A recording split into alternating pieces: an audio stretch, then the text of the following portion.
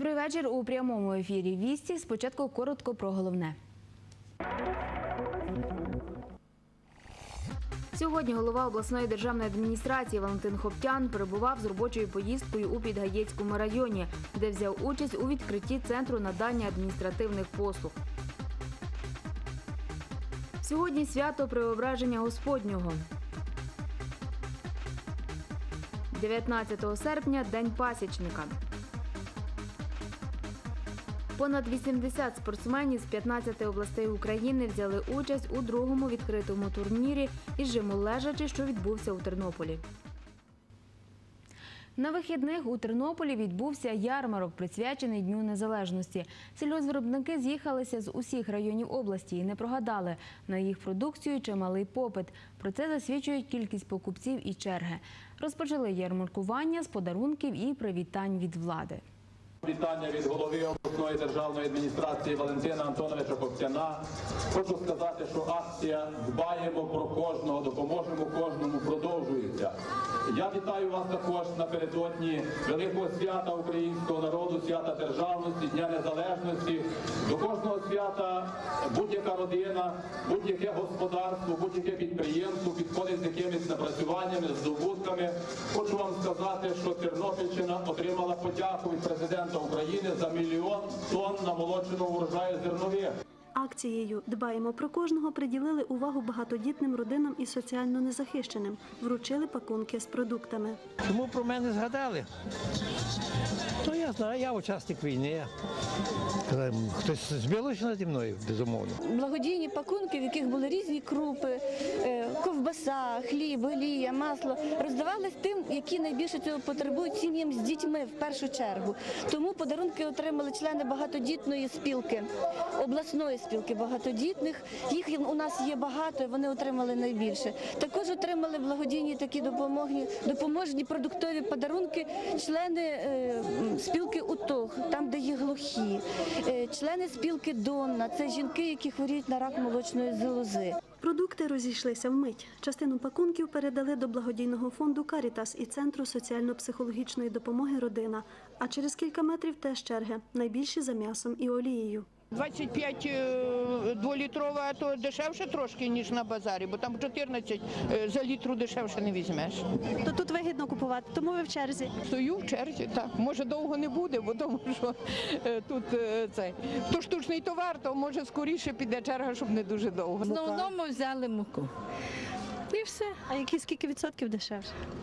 Ну, мука набагато дешевше. Якщо в магазині 5-6, то, то, То тут, тут тут, 3 три. гривні кілограм. На майдані мистецтв ярмаркують представники п'ятьох районів. Борщівський, Гусятинський, е, Чортківський, Теребовлянський і Монастирський райони, які вивезли свою продукцію. І бачите, е, десь е, біля 50 видів продукції представлено на ярмарці. Ярмарка проходить успішно. Тут десь 900 на 950 до мільйона гривень представлено продукції нашими сільгоспвиробниками і переробними підприємствами. Лише з Гусятинського району продукти везли у 15 автомобілях. Є м'ясо, різна крупа, мука, ну, весь набір сільськогосподарської продукції. Навіть і саджанці є, суниці. Попит є. Попит є великий, тому що бачите, які черги біля наших е, павільйонів. Не менший натовп і біля павільйонів з ласощами. Усіх охочих тут пригощають. пампушок пам- і з ковбаскою. Дуже було смачно. Дякуємо їм за гостину. Високий попит на ярмарку через ряд причин. Фахівці вважають, що в основному через натуральні продукти. До того ж, сільгоспвиробники краю працюють на совість. Продукція якісна, е, гарна. Наші керівники дуже потужно працюють. Приділяє кожен уваги натуральна. Кожен приділяє уваги своїй продукції і знає, що кінцевий результат це щоб споживач забрав цю продукцію, і наші керівники мали від цього прибутки. Загалом на ярмарку вторгували сільськогосподарської продукції на суму 3 мільйони 600 тисяч. Участь у ньому взяли понад 200 підприємців з усіх районів області. Сьогодні голова обласної державної адміністрації Валентин Хоптян перебував з робочою поїздкою в Підаєцькому районі, де взяв участь у відкритті центру надання адміністративних послуг та запалення газового факелу у селі Угринів. 14 сіл попереду. 2 мільйони коштів майже виділено за рахунок держави в цьому селі для підведення газу. Ми і далі будемо працювати. Скажу, що є підтримка з цього приводу зі сторони і президента нашої держави Віктора Федоровича Януковича. І, мабуть, те, що сьогодні е, дякували Віктору Федоровичу тут, у цьому селі, і співали много еліта, це яскраве свідчення цьому. Е, Ми будемо продовжувати цю роботу.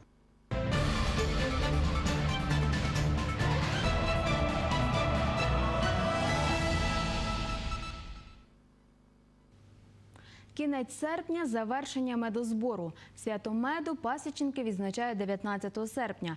Минулими вихідними вони з'їхалися до Тернополя. Деталі у сюжеті.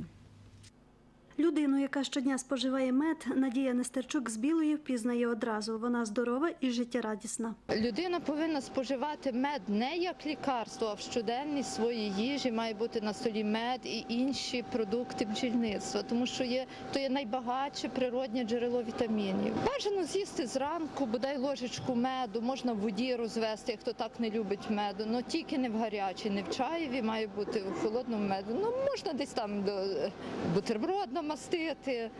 Ну бажано хоча б зранку ложку меду.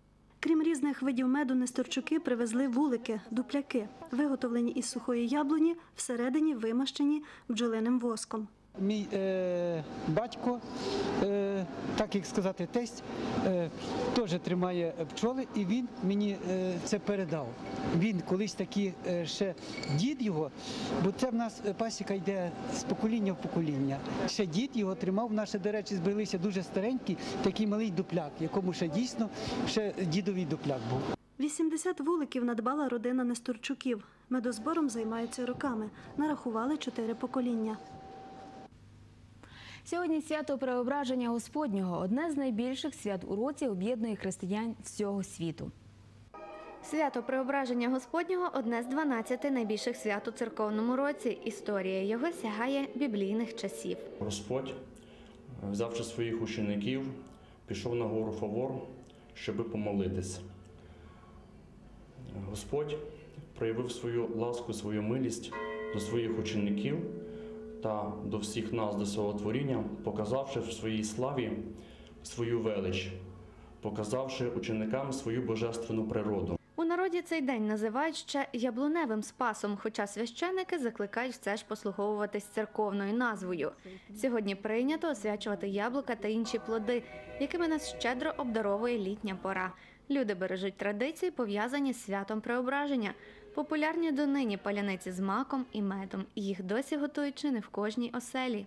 Це в першу чергу відвідування храму і е, молитва на святій літургії, це освячення е, плодів. От, так як народі називається другий спас або яблучний спас. Є традицією приготування е, пісної їжі, і, зокрема, це паляниці. От, паляниця з медом і з маком. От, е, дружина вчора її приготувала, вона на сьогодні вже в нас готова. І от коли ми прийдемо із храму, ми якраз розпочнемо свою трапезу із цієї медової паляниці. Ну та спаса святимо овочі, святимо зілля. Я так ще по батьківських звичаях. У нас раніше в кошечках не носили ово- е, фрукти. Я виразилась неправильно, фрукти. Просто е, клали от так, як я зробила. Шануємо, звичайно, так як і всі шанують, так і ми шануємо. До церкви ходимо. Сімейні традиції це, звичайно, печуться такі пляниці з маком. От потім з медом перемащуємо. Йому це обов'язково має бути на спасу. Без того ніяк. Це не свято. Преображення Господнє у нас святкують з пісними стравами. Триває Успенський піст. Чи пом'якшується піст сьогоднішнє свято? Ні. Піст є піст, і сьогодні по уставу дозволяється споживати рибу, можна трошки вина і все. А такого, щоб е, можна було пом'якшити чи відмінити піст, церква не відміняє. Цей піст є дав- давний вже складений ще з давніх часів. Згадка про нього ще йде із 6 століття нашої церкви, а особливий устав цього посту поставився в 11 столітті нашої церкви. Його дотримується. Він не такий строгий, як Великий піст, а все ж таки піст, ми повинні себе стримувати в розвагах. Натомість саме цього дня священики радять заглибитися у молитви, відвідати хворих, задуматися про преображення власного життя. І свято для першокласників організувала цими вихідними Тернопільська благодійна організація Українська родина. Солодкий стіл, подарунки і щире- спілкування отримали не лише запрошені школярі, а й їхні батьки. На святі побували і наші кореспонденти. Тернопільська благодійна організація Українська родина діє вже 19 років. Її мета соціальний захист, моральна та матеріальна підтримка, духовний розвиток учасників. Ними є діти-сироти та їхні опікуни, багатодітні родини, самотні люди похилого віку, інваліди. Голова організації Ірина Найдух каже, завдання української родини, щоб кожна людина не почувалася знедоленою і самотньою. Українська родина звучить городом. І коли мої першокласники сьогодні їх питають, а звідки ляти? Він каже, з України. Я тішуся. Бо каже мій Назарчик, я з козацького роду, я вчуся край свій любити, землю свою любити. І я тішуся цим, що мої діти так знають, не по-іншому. І може складно проводити свято, але я думаю, що так радісно буде. Українська родина подбала, щоб присутні першачки отримали ранці зошити, альбоми для малювання, калькулятори, ручки та інше шкільне приладдя. Нам тут дуже допомагають, дуже нам подобається. Допомагають нам продуктами, допомагають і одягом, і взуттям. І зараз е, для дітей всіх дають е, канцтовари, допомагають, щоб діти зі всім пішли в школу, щоб нічого не бракувало. І також надають і моральну підтримку, таку як Ірина Михайлівна. Вона е, дуже постійно дзвонить і запитує, як там справи, допомагає. е, Ну просто навіть словом. Один із наймолодших учасників організації, третьокласник Назарчик Страмик, розповів нашій знімальній групі віршика.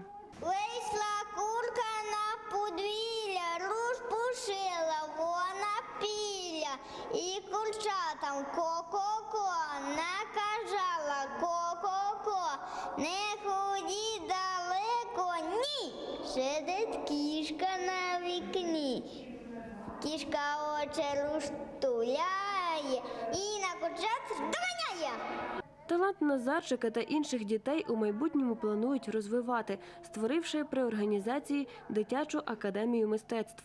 До цього проекту залучать і батьків обдарованих юних учасників. Я також педагог. Мені воно близьке і зрозуміле і, і потрібне. Дітьми треба займатися. Це, це саме головне. Дітей виховати в чистоті, в моралі, в духовності, в патріотизмі, щоб дитина була така, як має бути. Бо світ він тяжкий. Це все.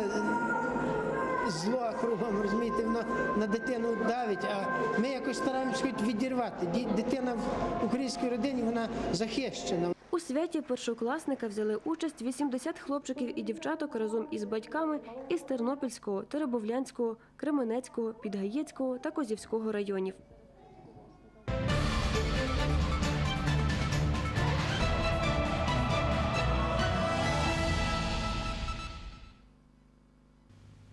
Як вберегти цінності, валюту, техніку, загалом квартиру та підприємства від злодіїв, говорили сьогодні на прес-конференції в управлінні УМВС у Тернопільській області. Рекомендації, настанови та попередження працівників міліції Державної служби охорони маєте змогу почути і ви у сюжеті наших кореспондентів. Наскільки бідною чи багатою не була б людина, завжди знайдеться в її житлі ласий шматочок для злодіїв. А у справі захисту майна дріб'язків немає. За словами спеціалістів, злодії наважуються дуже рідко грабувати квартиру, яка охороняється. Це 70% гарантії безпеки. А окрім того, за безпекою ваших домівок слідкують правоохоронні органи. За даними головного управління статистики, в Тернопільській області на сьогодні нараховується понад 670 тисяч е, помешкань громадян, житлових помешкань громадян. З них під охороною охоронних структур, які представлені на ринку е, послуг охорони в Тернопільській області, знаходиться понад 2,5 тисячі. Якщо взяти в відсотковому відношенні, це всього-навсього 0,37% від загальної кількості. Досить низький показник. Проте е, управління внутрішніх справ в Тернопільській області ставить перед собою завдання щодо покращення цього показника і тим самим забезпечення безпеки громадян, житлових приміщень і приміщень з особистим майном громадян. У 2012-13 роках жодна із домівок, за недоторканністю яких пильнує Державна служба охорони, не була пограбована. За цей же період працівники міліції Державної служби охорони припинили сім спроб проникнення до осель, що охороняються.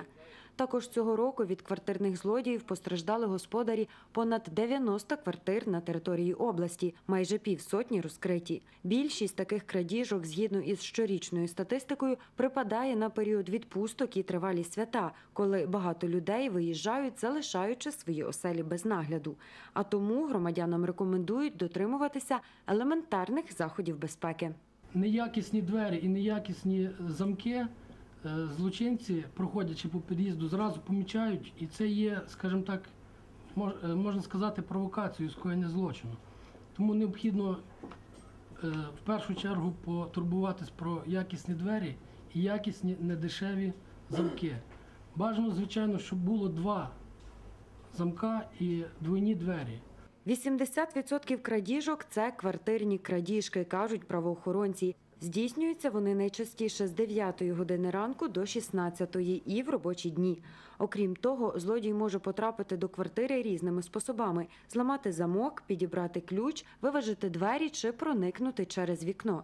Слід пам'ятати, що квартирні злодії не забираються у чужі квартири, доки не переконаються, що вхідні двері не обладнані надійними замками. А тому правоохоронці радять наступне. Кожен центровий механізм замка даних ключів, цих замків, да, він повинен бути захищений захисною планкою. Тобто центровий механізм повинен бути схований. Тобто злодій не міг, не мав можливості взяти, відкрутити планочку, як правило, бо більшість замків є, що з зовнішньої сторони можна шурупами відкрутити даний центро, е, накладну планку, відставити і сторону зламати даний е, замок розвідним простим ключом. І через то після того проникнення в- двері. Тобто даний замок, оцей цим центровим механізмом потрібно ховати, тобто ставити накладну планку, яка ховає, тобто від зламу. Ну, нема гарантії від того, що його не підберуть, а справа в тому, що від зламу да, можливо е, захистити. Другий замок це центровий, це врізний е, замок з сувальним механізмом. Це, як правило, стоїть мотура, це італійської фірми, і є російські хороші замки, там безліч є на, на ринку можна придбати. Тобто бажано двері захистити свої різними типами замків. І не забувайте, заощаджену валюту, золоті вироби та цінні речі небезпечно зберігати у квартирі. Не будьте байдужими, коли бачите, що злодії проникають до сусідньої квартири чи будинки, ламають замки на дверях або намагаються проникнути у квартиру через вікно. Відразу повідомляйте про такі факти працівників міліції. Для мисливців свято, а для міліції робота. З відкриттям сезону полювання на пернату птицю працівники міліції перевіряють правила полювання. Подробиці у сюжеті. У суботу на пристані Івачівського водоймища метушаться чоловіки в камуфляжній формі, готують човни, перевіряють рушниці.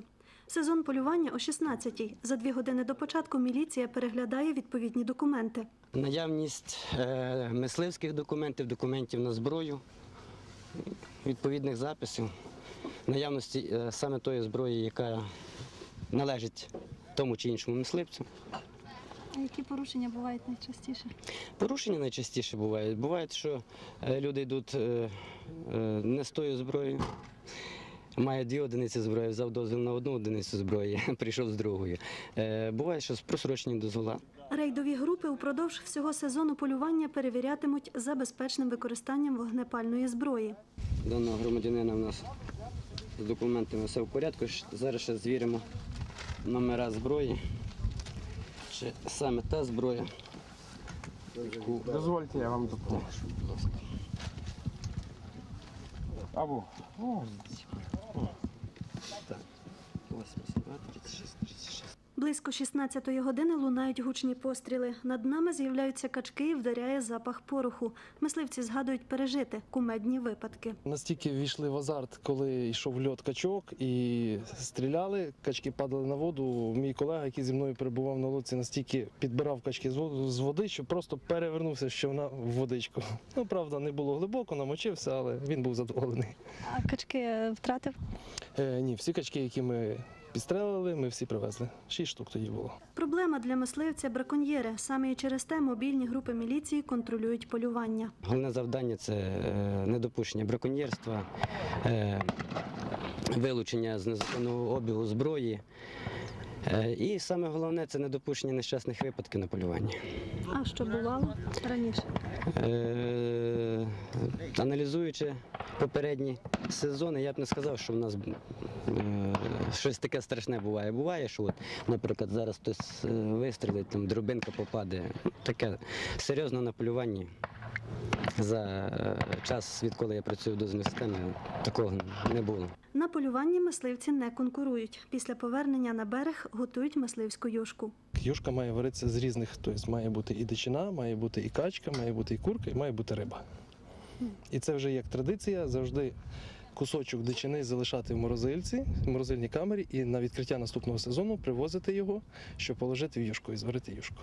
Богдан Іванів вважає, що любов до полювання у нього в генах. Чоловіки завжди добували їжу. Загалом мисливці забобонні. Не прийнято обмінюватися патронами. Кажуть, що так і трофеї віддаси. Не можна передавати здобич із рук в руки, бо удача відвернеться. Жінка на човні теж до невдачі. Дехто помітив, коли перед полюванням перейде дорогу сусід або посвариться з тещею, обов'язково не пощастить. Але, попри забобони, відкриття сезону полювання відбулося вдало і без порушень закону. Понад 80 спортсменів з 15 областей України з'їхалися цими вихідними на другий відкритий турнір Тернополя жиму лежаче. Змагання організували Тернопільська міська рада, обласна державна адміністрація та обласна організація молоді регіони. Детальніше у сюжеті. Минулоріч це були обласні змагання, а нині організатори вийшли на всеукраїнський рівень. У планах дорости до міжнародного уже в наступному році. Збільшення кількості учасників і те, що на запрошення відгукнулися як початківці, так і майстри спорту та чемпіони із 24 міст, говорить про належний рівень організації.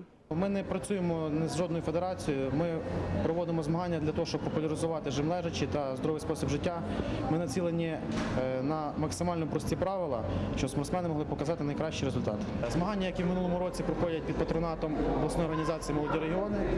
Цього року також нам допомагає управління фізкультури спорту обласної державної адміністрації. Ми би також хотіли подякувати усім спонсорам, які долучилися до проведення даних змагань. Вже цього року зібралася така доволі сильна команда, і ми врахували помилки минулого року. Зв'язалися з спортсменами з тими, з якими ми разом е, змагалися, тренувалися. От, і залучили вже, як бачите, 15 областей. Під час змагань очікували нові рекорди. Спортсмени змагалися в одному з різновидів паверліфтингу жиму лежачи. Правила тут спрощені, а переможець той, хто підніме найбільшу вагу. Саме головне, я думаю, це настрой спортсмена на змагання. Якби також дорога, харчування, чи він зганяв вагу, якби була в нього лишня вага. Все, все треба враховувати. Ну, в принципі, спортсмени, які регулярно виступають змагання, у них якби вже немає того мандражу, вони вже приходять на змагання, роблять свою роботу, забирають призи і їдуть додому. Чемпіон світу Юрій Вишиванюк з Коломиї займається паверліфтингом вже 10 років, з них 4 жимом лежачи. На його фізичну підготовку негативно вплинули серйозні травми, проте сподівається на перемогу. Пауерліфтинг, він складається з однієї прав, тільки жим лежачи. Це, е, це можуть займатися як і діти, так і дорослі, так тобто тут менше травм. Е, Що потрібно, щоб для того, щоб піднімати високі результати, потрібні насамперед фінансування, тому що без фінансування нічого не було. От. Ну і фізичні, власне, фізичні якості так само. Абсолютну першість у змаганнях виборов Андрій Гурнаков із Херсонської області. А найбільший вантаж вагою 212,5 кілограмів підняв Андрій Білов. Наразі у мене все. Дякую, що ви з нами і на все добре.